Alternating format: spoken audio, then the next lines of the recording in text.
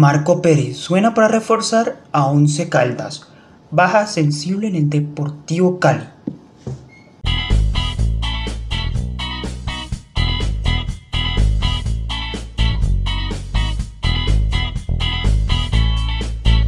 Bueno gente, empezamos con la noticia. Pérez estudia en el Once Caldas. El atacante aún no ha llegado a un acuerdo con el equipo de Manizales. El futuro del futbolista Marco Pérez continúa siendo una verdadera incógnita y esto se debe a las palabras que dio el alto mandatario del Once Caldas de Manizales pronunció al respecto de la posible incorporación del atacante. En entrevista realizada por el programa Radial Las Voces del Fútbol en Manizales, el presidente Blanco Blanco tituló Castrillón manifestó que pese a los rumores que vinculan a Pérez con su club, la negociación no ha sido nada fácil, estamos intentando llegar a un acuerdo con Marco Pérez. A hoy no podemos nada firmado, ojalá nos acompañe, la puja es dura, Marco Pérez es un jugador costoso, pero estamos intentando que él llegue al equipo. A la fecha todavía no hemos tenido nada firmado, dijo después del fútbol. Finalmente, Castillo afirma que hay varias ofertas de equipos europeos en algunos jugadores del club. Son Marcelino, Carrezano, Sebastián Guzmán, Alejandro García y Adrián Estancia. La venta de algunos de esos jugadores podría facilitar mucho más la llegada de Marcos a Manizales. Bueno, gente, pues con lo respecto a noticias sobre Marco Pérez, pues sí, lo vinculan con Once Caldas, pero todavía el presidente no ha confirmado que sí, vamos a contratarlo ya, ya, eso va a estar arreglado. No, es poquitísimo como caro. Yo para el... De pronto no es caro por, por lo que cuesta jugar, sino caro por, por mm, el salario seguramente.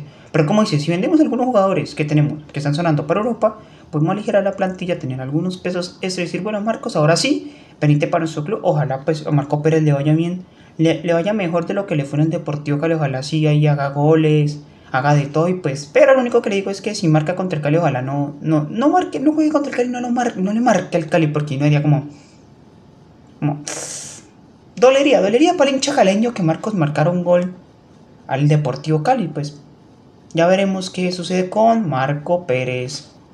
Bueno gente, continuamos. Deportivo Cali confirma la lesión de Juan Camilo Angulo. Información oficial del Departamento Médico del Deportivo Cali sobre el capitán Juan Camilo Angulo que se le ha estimado en el reciente partido entre Atlético Bucaramanga. Durante el partido de la fecha 3 frente a Atlético Bucaramanga, el jugador Juan Camilo Angulo tuvo que abandonar el terreno de juego con trauma en su tobillo izquierdo. Luego la evaluación médica se solicita imágenes de diagnóstico, lo primero que se dice el club, eh, la información pública por el club este lunes. Tiene que ver con el golpe de golpe que Cristian Blanco le propinó un minuto 60 al juego y por el cual fue amonestado. El capitán del cuadro verde blanco intentó seguir en el partido ángulo otros 10 minutos y entonces salió para darle paso a Mina. Ahora se conoce el alcance de lo sucedido con él, en el juego. Los resultados muestran un trauma en el extremo distal de la pierna izquierda que compromete el tobillo y el calcano. Se evidencia un trauma óseo e inflamación del tendón fibulotar anterior, esguince y trauma del tobillo izquierdo. El jugador iniciar un plan de rehabilitación en la incapacidad será determinada de acuerdo a la evolución clínica.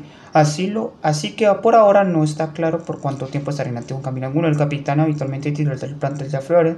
De momento, Deportivo que le lista el contra Atlético Nacional que jugará en la Internación Giraldo el próximo 7 de agosto. Ese día seguramente no estará él disponible para el juego. Se habla de que Juan Camilo Angulo se podría, pues por la lesión, por uno poder, uno dice, yo diría que un mes, todo agosto, 3 de agosto se perdería Juan Camilo Angulo. Para septiembre estaría, para septiembre estaría llegando Juan Camilo Angulo y pues una muy sensible porque es de los mejores jugadores que tiene la saga defensiva Juan Camilo Angulo y tocaría pues ya improvisar con un defensa o meter el reemplazo de él.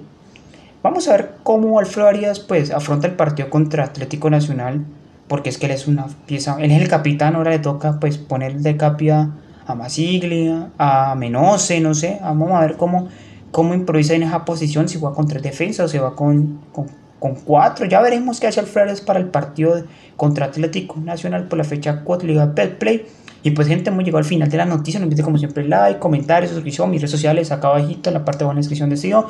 No olvides como siempre la campanita para que YouTube notifique cuando suba un video nuevo. No olvides suscribirte que eso me sirve mucho para así me ayudaría a llegar a los 600 subs en el canal. Yo me despido por el día de hoy y nos encontraremos en una próxima ocasión. Chao, chao.